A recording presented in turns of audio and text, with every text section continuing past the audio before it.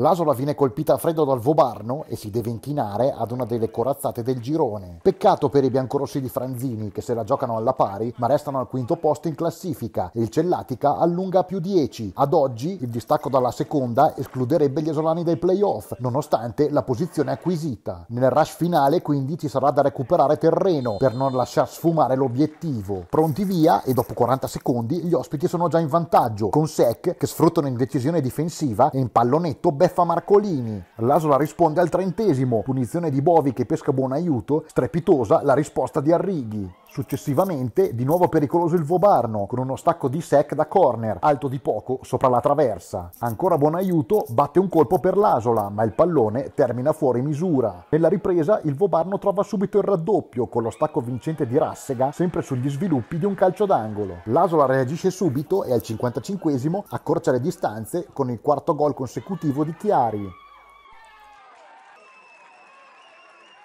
Un minuto dopo termina fuori un'interessante iniziativa di Burato. Al 58esimo è Marcolini a salvare in angolo sul tiro di Giardini.